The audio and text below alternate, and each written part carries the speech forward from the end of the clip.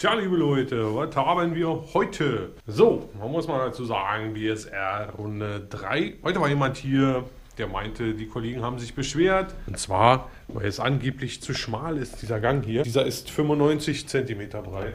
Natürlich, meine sehr geehrten Müllmänners. Ich werde natürlich für euch jetzt diesen Schrank auch nochmal drehen. Habt ihr noch mehr Platz zum Durchlaufen? Ich glaube, dann sollte es aber genug sein. Ja, Mensch, der Kollege von Berlin Recycling ist auf alle Fälle begeistert schon mal von dem äh, freien Felde hier. Aber der ist auch, mit dem komme ich auch super klar. Also da jetzt keine Schwierigkeiten. Tja, wie weiter? Wie jetzt? Wie machen wir weiter? Kamera! Achso. Ja, er hat kein Problem damit. Er will nur selber nicht ruft. Das hat er mir gesagt. Ist auch nicht. Ich mal jetzt einen Auftrag. Ich habe heute einen Auftrag. Ein Auftrag, den ich filme. Muss ich ja machen. Auftrag, also ich glaube, die kennen das, was du machst, wa? Gut. die Feuerwehr. Ich wünsche dir was, wa? Ja, bis dann. Ciao, ciao. Ja, bleib gesund. Du auch. Ja, ich bin müde. Durchhalten. Ja, so, ist es. so muss es sein. Hand in Hand, liebe Leute. Nicht gegeneinander. Also schneidet euch mal eine Scheibe ab. Wo ist denn jetzt das ab? Was ich gar nicht machen muss. Schloss ist auf. Sattel muss runter. Ich schwein. Der Sattel, den stellen wir nachher runter. Also das machen wir nicht jetzt. Das stört er im Moment ja nicht. Jetzt wird erstmal gecheckt, ob der Antrieb funktioniert.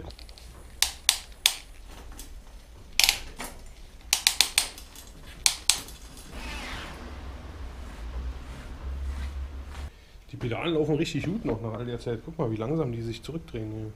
Das heißt, die laufen satt im Fett tatsächlich, ja, immer noch. Nach der ganzen Zeit.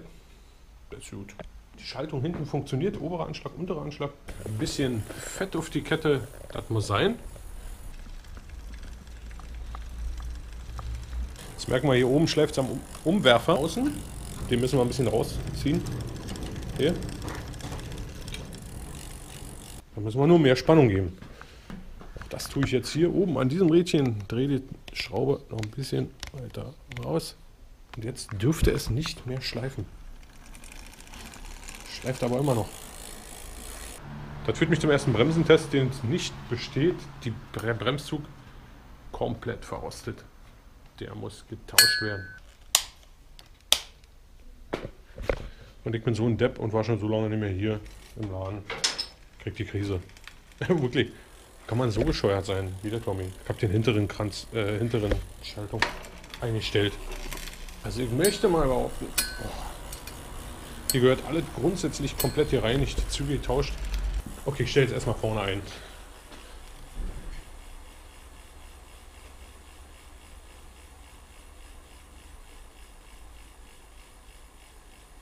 Aber bin ich denn bescheuert? Das ist doch Quatsch. Das ist doch falsch rum drin denn. Äh? Die Gripshift ist falsch rum angebaut. Ja, natürlich. Die, die Gripshift ist falsch rum angebaut. Das, ich will immer nach hier schalten, aber geht ja nicht. Man muss nach vorne wegschalten. So, also ich muss offensichtlich das ganze Rad irgendwie zerlegen, auseinandernehmen. Das schaue ich jetzt erstmal mir alles auf, was das alles ist. Bremszug einmal. Moin. Komm doch rein. Zweimal. Ja, eine Reparatur bitte, wa? Ja, was denn? Die, die Gangschaltung hinten habe ich kaputt gefetzt mit der Kette. Und zwar, das Grundproblem ist, dass der, das Rad so weit, ähm, also dass die Kette nicht genug spannt, dann raushüpft, so wie jetzt. Ja, und dann fällt sie aber hier teilweise in diesen Zwischenraum und dann habe ich weitergetreten und dabei habe ich diese Ringe kaputt gemacht. So das. Ja, ja, klar. Wenn die Ringe kaputt sind, kannst du nicht mehr schalten. Mein Ring und irgendwie das halt. Ja, Ja, ja. Ja, Mensch. ja. Ey, grüßt. Moin, moin. Bist ein bisschen dünner geworden. Ist immer noch das gleiche. Bin ich? Nee, Ja. glaube nicht. Na doch, irgendwie siehst du so aus. Also ich auch. Gestresst da. Ach, naja, nun. Komm mal an, was du für einen Job du hast. Wenn du bei McDonalds arbeitest und dann hast du vielleicht mal zu ja. Arbeiten abgehört. War ja nicht geplant, dass ich jetzt hier. Und ein Schuft ist. Ja. Schöne Kaffeesalbe hast du. Hm. Kamera läuft, aber kann jetzt auch, wa? Jetzt ist er Ja, ja. ich darf darüber ja nicht reden, aber ich sage ja so mal allgemein, aber Wir wissen aber ja nicht, wer hier ist gerade. Wer redet denn da? Wer ist denn unser äh. Bundespräsident? Äh, Walter Steinmeier.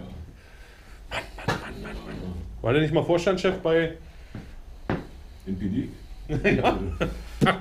Da war Walter Schiele der erste Bundespräsident. Wo soll ich denn nicht wissen? Du hast doch gelernt. Ich, ich, ich, habe hab überhaupt keine Ahnung, was äh, Wissen angeht.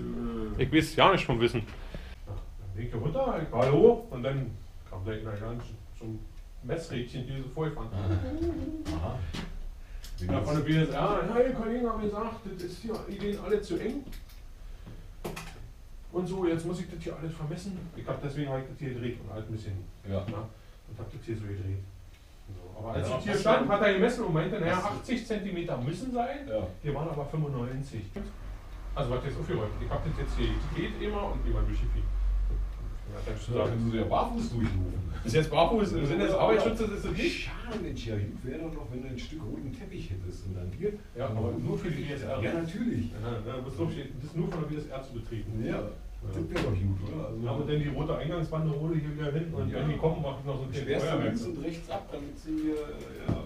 Stellen wir uns noch hin hier als äh, Security. Personenschutz und dann äh, doch mal eine gute Idee, oder? Die orangen Fähnchen aushängen, heute kommt die BSR, wir schmücken für die BSR. Winkelemente von der BSR. Links und rechts vom Laden. Ja, BSR-Wimpel. Ja, die Kette ist rausgesprungen und dann auf diese Plastikringe rauf und die hat er dann offensichtlich zerstört. Jetzt bräuchte ich so eine Ringe halt. Ich habe das da echt bei dem Video gesehen, dachte mir so, was? Hast du, hast, du, hast, du, hast du das nicht gesehen, als du die gekauft hast? Und ich habe das nicht wahrgenommen. Also, naja, wenn es denn da ist, ja, aber in dem Moment, wo ich es gekauft habe, habe ich es halt nicht gesehen. Ja. Habe ich das nicht wahrgenommen irgendwie und habe es ja dann auch nur weggestellt. Habe mich ja nicht mehr drum gekümmert. Ja.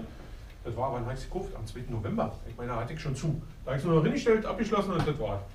So, dann wollte ich mir das irgendwann mal vornehmen. Ja, was kann man da machen? Nicht da machen. Nee, kannst du, Rahmen ist Asche. Ja. Verkauft das wieder zum Einkaufspreis und fertig. Die Box und Tarts. Das ist doch Blödsinn. Ist doch Blödsinn, Ist doch ja, ist Blödsinn. Da muss der Wecker umgebaut werden. Hier ja nicht live oder was? Oder bist du live? Ich bin nicht live, nee. Oh? Und live ist ja eh jetzt gerade ein kritisches Thema. Also hier, ich bin aber äh, semi-live. Also ich habe ja hier. Wer will sie für den Versand abhaben? Weil dann muss es verschicken. Nee, da kommt die Winde, definitiv. Das merke ich jetzt schon. Das ist äh, scheiße. Eine Seite ja, andere Seite nein. Meist ist es ja so, dass es hier hinten, also da bleibt ein Stück Gewinde klemmen. Und du machst es ja erst kaputt, indem du das komplett rausdrehst, weil du dann dieses Stück Gewinde Ja, ja. mitnimmst Ja, und dann durch alle Gewindegänge drehst. Also insofern ist es kein Problem, dass es jetzt kurz bewegt wurde und wieder festgemacht wurde, weil das ist ein, nicht mal eine Viertelumdrehung gewesen. Aber man merkt schon, dass es sich nicht löst tatsächlich. 214 Euro. 214 Euro und verschenkt. Ist, äh, müssen Ich möchte mal behaupten, der zahlen die nicht. Ja, du bist auch einer, der immer nach Arbeitsvorschrift arbeitet. Bei der BSR das kann man wirklich nicht vergleichen. Die Arbeit hättest du keine. Chance. Wieso? Willst du jetzt was sagen? Na, sag mal, also BSR ist ja wirklich ein harter Job. Jetzt hör mal auf hier. Was sagt denn der Dennis da? Das ist ja unglaublich. guten Tag habt, dann nehme ich bestimmt 120 Tonnen in der Hand. Was macht die BSR? Na, Der nimmt auch 120 Tonnen in der Hand. Naja, ich bewege die aber noch. Ne? Also, Ja, die auch. Die rollen die von A nach B. Ja, ui, Mann, ui, was Pro Tonne? Tonne? Na, Tonne ist Tonne. Was ist das? 10 Kilo oder was? Ach so, eine Tonne. Ja, eine Tonne. Na, Mensch, der BSR, die nehmen ja auch Tonnen in der Hand. Mann, Mann, Mann, der Dennis, der liegt da sich aber weit aus dem Fenster. Ich glaube, wir müssen mal so ein, so ein, so ein äh, ich tausche meinen Job Ding machen. Ja, oder hier. Ne? Er macht, er macht BSR für einen Tag und dafür machen die jeden Tag, naja, stimmt. Aber nee, was? Im Moment ja Moment nicht, das stimmt. auf der Handelbank liegen. Also ich glaube, Nee, na, heute habe ich ja immerhin schon mal einen Einstellungstest bei der Polizei absolviert. dann machen die demnächst, den Einstellungstest bei der Polizei. Vielleicht hättest du das mal machen sollen.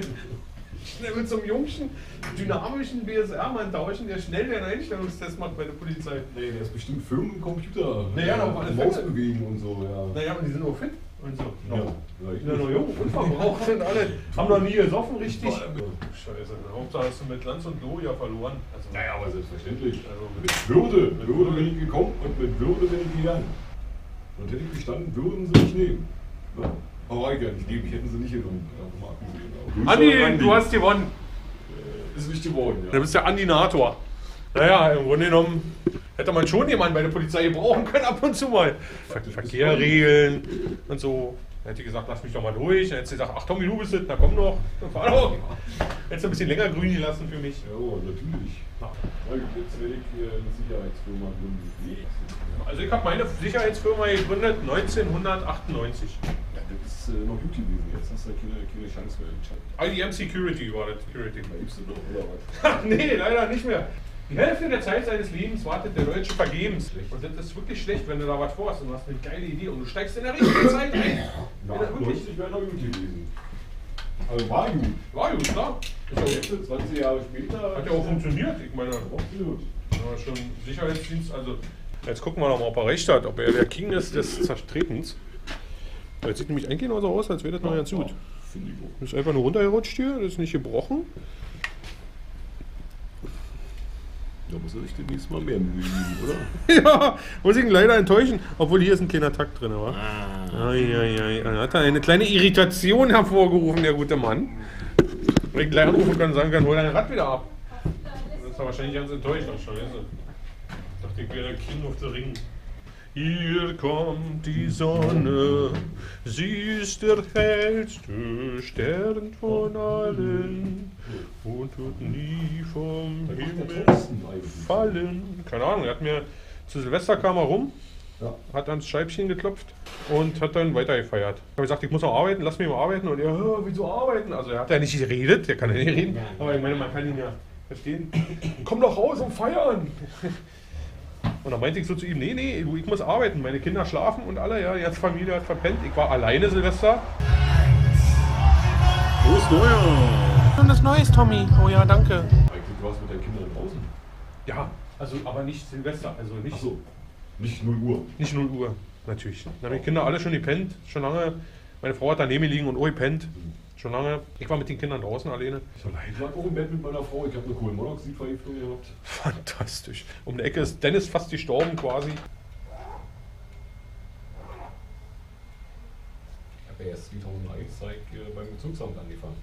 Ach, wir arbeiten öfter für den Staat. Sehr interessant. ja, hier, Bezirksamt, arbeitet sich hoch, jetzt Polizei. Ja, ich bräuchte jemanden tatsächlich, der filmt. Ähm, bei so eine Sachen hier, sowas, kann ich, ich kann ja kein Video von solchen Dingen machen. Ich brauche beide Hände. Ja, ich kann mir leider noch nicht leisten, dich anzustellen, Dennis. Ansonsten würde ich das ja tun. Aber ich habe äh, äh, bei YouTube, äh, die Werbung bringt noch nicht so viel. Ansonsten wäre das natürlich, klar, geil. So machen das ja die anderen auch. Die stellen im Grunde genommen ja die ganzen Leute dann ihre Kumpels an. Ja? Kumpels und Freunde und so, alle machen mit. Der eine macht dann Musik, halt, produziert Musik, aber das ist halt so ein Teufelskreis. Man kommt nicht auf die Beine so richtig. Na, damit nicht. Aber das wird noch. 137 sind es bis jetzt. äh, Ich hab nicht die Zeit, das ist das Problem. Das ist doch das, wenn du das richtig, wenn man das richtig erfolgreich machen will. Dann Zeit, so viel Zeit, was ich drin gesteckt habe in den letzten Jahren, in die Dinger. Ja. Das ist bestimmt die Hälfte der Zeit, was ich hier schon stehe. Willst du den Automaten eigentlich immer noch verschenken? Dennis eh. Jetzt tu eigentlich nicht mehr. Jetzt steht er wieder, jetzt. Ja, ich finde, der passt so wunderbar hier hin, aber wenn du ihn wieder mal loswerden willst, dann nehme ich den gerne ab, den stelle ich mir in meine Hütte. Aber wie hieß denn die Sendung mit Andi eigentlich? Die würde ich mir sehr gerne angucken. Der Andi war doch bei Vera am Mittag. Stimmt, da war irgendwas mit so einer Knastgeschichte. Genau. Ja. Aber wenn der weiß, wie die Sendung heißt, ey, das will zu gerne würde ich mir das mal angucken. Ey. 20 Euro, wenn er das heute noch abholt. Ja. Mittwoch. Mois zeichnet auch wieder. Boah, ey. Cyborg Cheesy. Das ist ein Geschenk. Ja, das ist schon klar. Hallo Dennis. Neues. Ja, frohes neues Jahr. Dankeschön. Wie vorgestern habe ich schon angefangen. Ja, hätte man, äh, das wären jetzt schon äh, 1500 pro Bild. Echt toll. Also super. Also das war wirklich. 1500 pro Bild, das wären schon 6000 Euro jetzt. Ja, und Da das, ist so ein Video da drin, das finde ich auch sehr gut, muss ich sagen. Diese Zeitraffer gemalt ist. hör auf, ey, Künstler brauchst du nicht, du brauchst jemanden mit Talent nicht zu sagen, dass er das wirklich gut kann. Ja, mein Vater findet auch toll. Also der war auch begeistert davon. Ich habe mir das angekickt mit meinem Vater. Der war äh, echt begeistert. Ja. Und mein Vater ist nicht so einfach zu begeistern. Ah. So ein Zahnarzt, ey, also dass man davon sexuell erregt wird. Sexuell gleich. Ja, ja, Oh. die Zähne anbohren und abbrechen, ey, ich weiß nicht. Also. Also. Wo wir da alle drin ist. Ey. Beim Koitus mit dem Bohrer in den Zahn. Ah, ich will auf den Nerv. ah, Hilfe. Nee. Oh, was ist denn hier los, ey? Na, das gibt so was. Ich, äh, na, gibt ja viele Neigungen, aber das ist ja nun echt extrem, wa? Da esse ich lieber eine Zwiebel. Ja, rein. Ja. Ja, ich habe einen Auftrag bekommen. Also im Grunde genommen kann ich eigentlich gleich weitermachen. Das ist jetzt halt gerade keinen Bock. Jetzt muss ich ein Video machen. Erstmal über das, über das neu zu versteigernde Rad heute. Gestern hat ist ist ein Rad ausgelaufen und der ist sofort abgesprungen vom Kauf. Wie es weit geht, ich dachte, ihr kauft es, ihr kauft. Bei eBay nicht. Bei eBay ist alles im Sinne des Käufers. Denn der Käufer Schon ist immer? das. Ja, der Käufer ist das treibende Glied. Ohne Käufer gibt es kein eBay. Ja, natürlich, ohne Frage. Und äh, Verkäufer ist ein bisschen der Anja. Ja, ich glaube, ich werde mal bei der Ila vorbeigehen. Nicht, dass sie da steckt mit dem Ofen. Der lebt noch, der wird noch. Gut, tschüss. Ciao. Mach's gut, bis. äh, Rinnehauen bis äh, Naja, bis weiter. Weiter bin ich. Freitag äh, Freitag ist Freitag. Also bis gleich.